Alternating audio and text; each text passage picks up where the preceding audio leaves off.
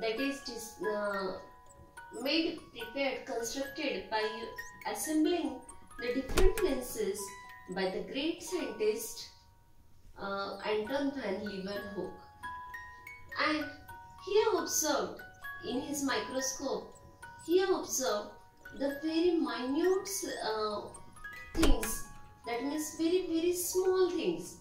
And that's why this is called microscope. Microscope means the device that is used to observe, to see very very small things, minute things. And that cannot be seen by our naked eyes. In our textbook, uninocular is shown. A compound microscope is there. A compound microscope having single lens is called uninocular. Here are two eyepieces. There are two uh, lenses in this eyepiece. That's why it is called binocular. Bi means two. Now, this binocular, it is having the different parts. See, it is an eyepiece. Eyepiece, it is having these two lenses. Then, here is a tube and here is the objective. There are three lenses, th three objectives are there. 10x, 45x and 100x. 10x uh, have it is having the 10 times magnification and 100x is also called oil immersion lens. Now it is the stage. On this stage there we have to keep the slide and the slide if it is stained then at that time it has to be covered with the help of cover slip. Then there are this coarse focus knob and this fine focus knob. Coarse knob it helps to adjust the position of the stage up and down so that we can observe the same very easily to observe the minute things.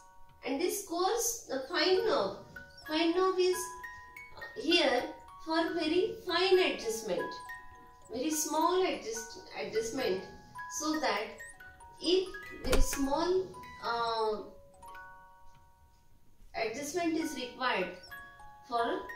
observing that microscopic thing. Then here is an illuminator and with the help of illuminator we can adjust the light and as it is uh, the advanced one it can be uh, operated by using the electricity and that's why we can do the work on the microscope at night also in the daytime in the room it does not uh, need the sunlight only. And if there is no electricity we have to observe them in the light.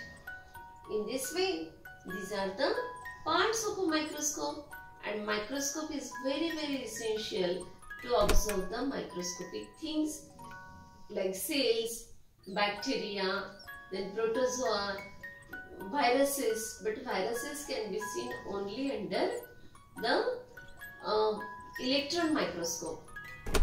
And the sizes of these cells or microscopic things they are measured in the units microns micrometers and nanometers that we have studied earlier.